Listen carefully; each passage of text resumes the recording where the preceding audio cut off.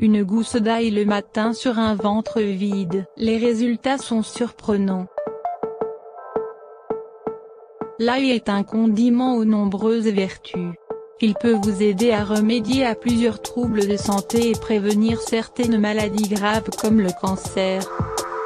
Découvrez ce qui arrive à votre corps lorsque vous mangez une gousse d'ail sur un ventre vide. Les bienfaits de consommer de l'ail sur un ventre vide. Depuis plus de 5000 ans, l'ail est prisé pour ses bienfaits médicinaux. C'est un antioxydant puissant qui possède des propriétés antibactériennes, antivirales et antiseptiques. Il est donc très efficace pour traiter des troubles comme le rhume ou la grippe. Il est également riche en vitamines A, C, B6, B9, E, et en minéraux, zinc, calcium, phosphore, potassium, qui aident à renforcer le système immunitaire, améliorer la circulation sanguine, prévenir et traiter les infections bactériennes. L'ail contre le cancer.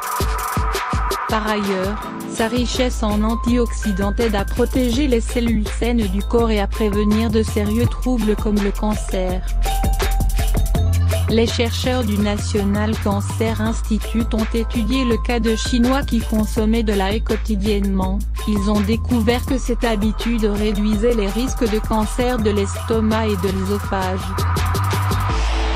Ils ont également observé qu'une consommation de 10 g par jour de légumes de la famille allium, l'oignon, l'ail, réduisait les risques de cancer de la prostate de 50%.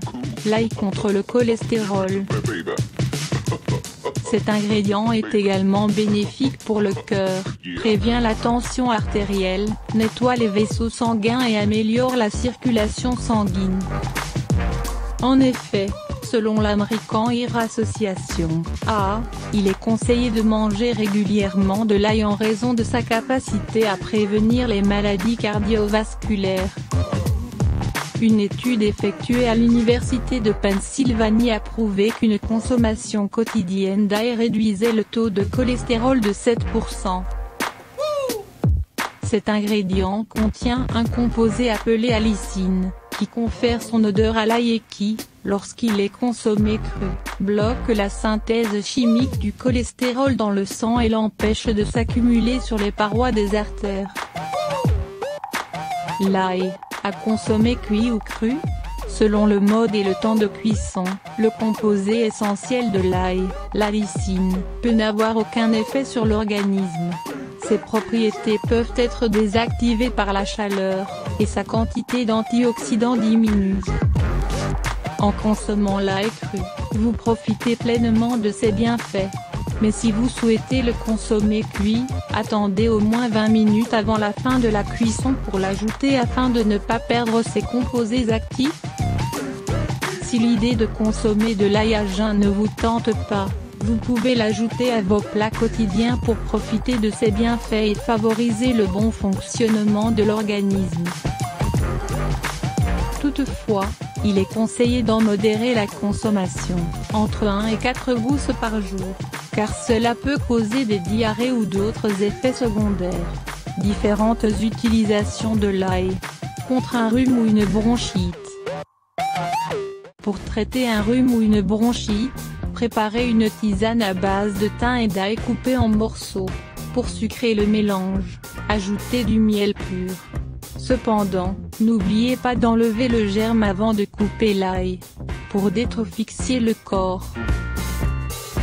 Les toxines sont néfastes pour la santé, elles favorisent les maladies, le vieillissement de la peau et ternissent le teint. Selon la médecine chinoise, l'ail nettoie le sang des toxines accumulées, stimule le fonctionnement des reins et prévient les infections urinaires. N'hésitez donc pas à l'ajouter à vos plats quotidiens. Soignez les inflammations de l'oreille. Écrasez une gousse d'ail et mélangez-la avec une cuillère à soupe d'huile d'olive. Laissez le mélange reposer pendant une heure et appliquez quelques gouttes de cette huile dans l'oreille infectée. Refaites cette opération deux fois par jour jusqu'à ce que l'inflammation disparaisse. Les propriétés antibactériennes de l'ail vont soulager l'inflammation. Prévenir la chute de cheveux. Pour renforcer vos cheveux, écrasez 5 gousses d'ail et ajoutez 50 ml d'huile d'olive. Massez bien votre cuir chevelu et laissez reposer pendant quelques heures. Vous pouvez vous coucher avec le masque si vous le souhaitez, il va nourrir, hydrater votre cuir chevelu en profondeur et prévenir la chute de cheveux. Réduire les démangeaisons aux pieds. Faites chauffer de l'eau, versez-la dans une bassine et jetez deux gousses d'ail. Attendez que la température soit agréable avant de tremper vos pieds, laissez agir entre 20 à 30 minutes. Renouvelez l'opération plusieurs fois par semaine pour remarquer des résultats. Les propriétés antibactériennes de l'ail vont traiter les démangeaisons et prévenir le développement des champignons.